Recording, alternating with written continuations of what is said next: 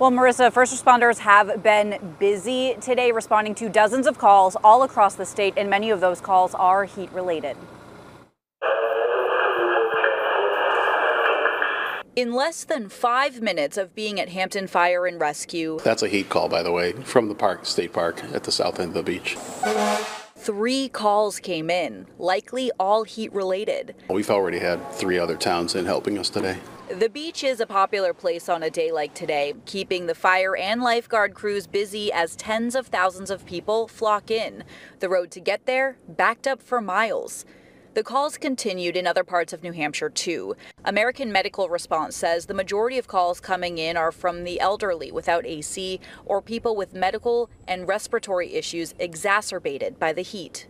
Those people struggle on a good day. A, a stretch of weather like this is really going to put them at risk for having some issues. They say heat stroke can be dangerous and 911 should be called immediately.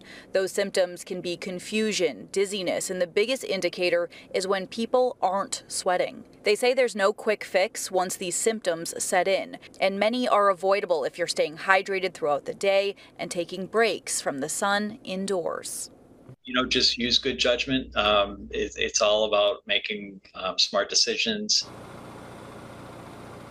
And they say one of the best things you can do to keep yourself safe and cool in this kind of heat is visit one of the many cooling stations across the state here in Portsmouth. We're at the public library. This site is open until 9 o'clock tonight for anyone who needs it. And we do have a full list of all the cooling centers and places to keep cool in the state on our website. We're live in Portsmouth. Kelly O'Brien, WMUR News 9.